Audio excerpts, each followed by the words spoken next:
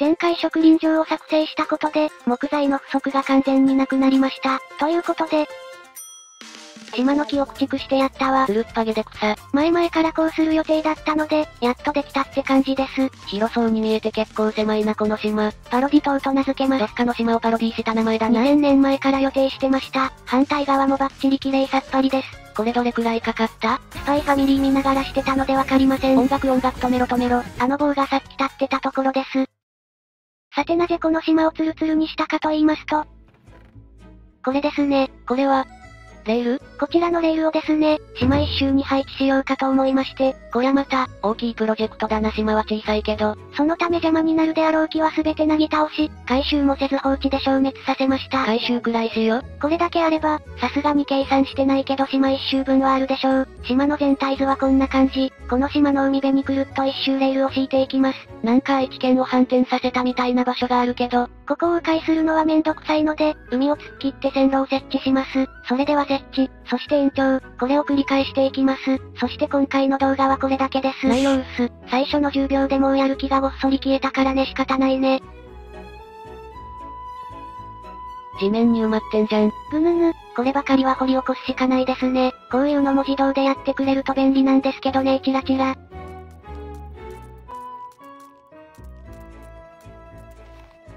はい、これで綺麗すっきり、というか、結構綺麗な傾斜で設置してくれるんだな。これがこのレールの特徴ですね。自然な形で曲げてくれます。うーん、ここの角、レールをそのまま設置するだけなのはちょっと味気ないですね。味気心配するならレール周辺を飾れ。堂々、それは次回。おいこれ次回も続くのか。それよりもレール自体の装飾です。まずは暗算岩合金と鉄のプレートを作成しまして、この2つを組み合わせて、メタルガーターです。なんか見た目フェンスっぽいな。これは何か機能があるとかではなく、ただの装飾ブロックに過ぎません。珍しい、装飾ブロックを作るなんて。おっと悪口か？こんな感じで設置する方向で形が変わる、フェンスシステムを搭載。そんなシステム名だったのか？これを使ってレールを装飾していきます。方法は簡単。ガーターをオフハンドに持ってレールを敷くだけ。お、なんかレールの下に黒い棒が。これがメタルガーター、鉄の支えになります。ほえー、かなり凝ってるな。これならレールを不自然に浮かせることなく、鉄の力で支えている感が出てきます。あくまで勘なのね。言ったでしょう。これ自体には何の機能もないって、これを使っていい見た目でじゃんじゃんレールを敷いていきます。材料の暗算岩合金も鉄プレートも無限資源だからな。暗算岩はまだ手掘りですけどね。愛知県のところにやってきました。この会場を線路が通るんだな。そこのけそこのけ線路が通る。まあ道は自分で作るんですけどね。まずはブロックを何でもいいので会場に設置します。そしたらここにレールを設置しまして、陸にある線路と繋げます。こんな感じ。なんか曲がってるの嫌だな。こればっかりは仕方ないですよ。私まだ線路歴浅いんですから。そしたら同じように反対側にも線路を伸ばします。これで会場の線路の完成です。サクッと作った割には、見た目はそれっぽいな。やはりガーターの見た目が素晴らしいですね。建築ベタでも適当に線路を伸ばすだけでそれっぽく見えます。あとはじゃんじゃんバリバリ伸ばしていくだけです。ところで、線路の下に設置できるのはガーターだけではありません。土ブロックをオフハンドに持ってレールを設置すると、土を地面に設置しながらレールを敷いてくれます。おお、こりゃ便利。今回は土を設置しましたが、例えば橋を作るときなんかは、装飾ブロックをオフハンドに持って設置するだけでブロックもついでに設置してくれます。これもまた使う機会があれば。来ないだろうな。ずっとガーターだけ使ってる未来が見える。せめて使うふりだけでもして。それじゃ、じゃんばります。多分ってなんだよ。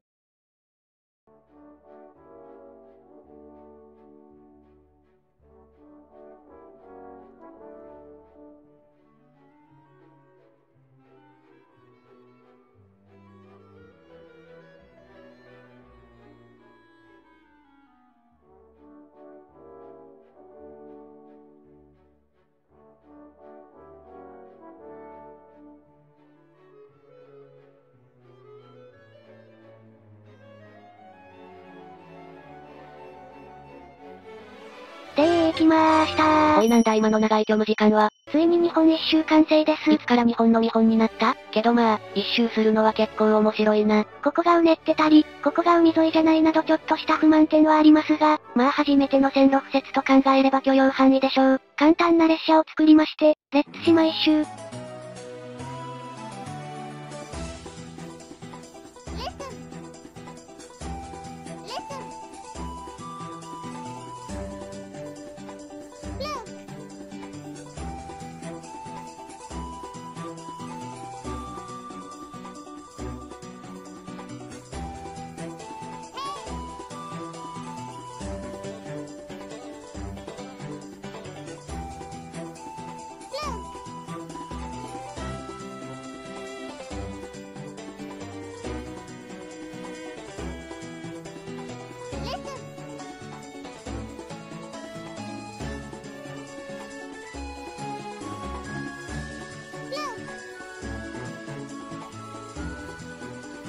ということで一周してみました。島一周したのに結構早く終わったな。それだけ列車の速度が速いということでしょう。早すぎて前後に移動するラグ起きてたしな。列車は線路の上しか走れないという大きい制限はありますが、こんな感じに快適に移動できるのが最大のメリットだと思います。線路を先に敷いているということは、逆に言えばすでに移動視点の確保はされてるってことだからな。快適移動も当然のこと。本当は明かりをつけたり線路の下の装飾なんかもしたかったのですが、今回はこのままで行こうと思います。建築案が出てこないだけだろ。奪われた。でもさすがにここは修正しますけどね。本当はアーチ状になるはずだったのに。これでよし、いつかもっと線路の敷設を理解できるようになった頃、もっと綺麗な敷設をされた線路をお見せできればと思います。一生このままだろ。成長しない未来しか見えない。諦めんなよ。これだけ早いとエンダーマンを凝視しても怖くありません。エンダーマンの瞬間移動でも追いつけない列車さんさすがっす。ところでこの列車、少しだけ気をつけないといけないことがありまして、それがですね。けるんですよ。いや怖。家畜なんかを買った時にそのままの話にしちゃうと、ついうっかり列車で引いてしまう可能性があります。十分注意しましょう。富士ワンパンは結構な攻撃力あるぞ。以上、レールの敷設でした。レールは敷けましたが、まだ肝心の列車を作成していません。さっきの測り組み立ての雑列車だしな。ってことで最後に、一つ新しい列車を組み立てたいと思います。その前に線路を分割。そんなこともできるのか。本当にこの線路は優秀でして、やろうと思えばラウンドアバウト的なものも作成できます。わえー、そりゃすごい。私は鉄道関係には疎いので名前とかはわかりませんが、こういう別車線も作成可能です。この車線の名前のコメントがわかる方がいればコメントください固定します。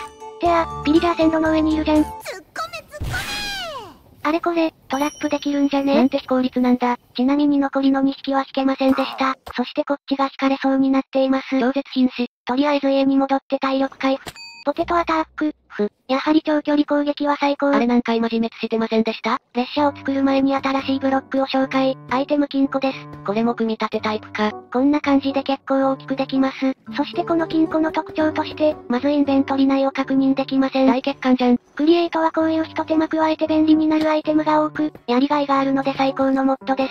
搬入と搬出は機械を使って行わなければいけません。ああでもファンネルは繋がるんだな。中を確認できないだけで、内部スロットは存在しますからね。これを列車に積みたいと思います。おお、貨物列車。さて、その前にこの金庫の下に合うブロックは何かな？とりあえずパッと思いついたネザークォーツを設置してみる。なんか高級な列車だな。寝台列車とかこんなイメージありますね。んでも貨物っぽくはないですね。安山山の合金を使うのです。今なんかお告げが、張り替えてみた。ん？これじゃないかん。やはりあいつの助言は当てにならないな。じゃあさ、滑らかな石のハーフブロックとかはどうだ？おい、すごくいいよ。ぴったりだね。よーし、これで列車作るぞ。40分後。完成しました。苦節40分、長かったな。個人的には結構お気に入りなんですが、いかがでしょう？まあ、建築ベタなりに頑張った痕跡はちょっとあるな。合格何かの試験を受けていた？この貨物列車、鉄線用として今後どんどん活用していこうと思います。インターフェースがついてないと金庫使えなくないか？それは次回修正します。こいつ気づいてなかったな。あとはチャンクロードの問題とかも、おいおい解決していくということで、なんだ、結構問題が山積みなんだな。まあ列車は始まったばかりですから、今後どんどん修正は入ります。ということで、今回はここまで、次回列車を改造したり駅作ったり、シグナルで制御したりします。なんか難しそうだな。それではまた次回お会いしましょう。チャンネル登録よろしくな。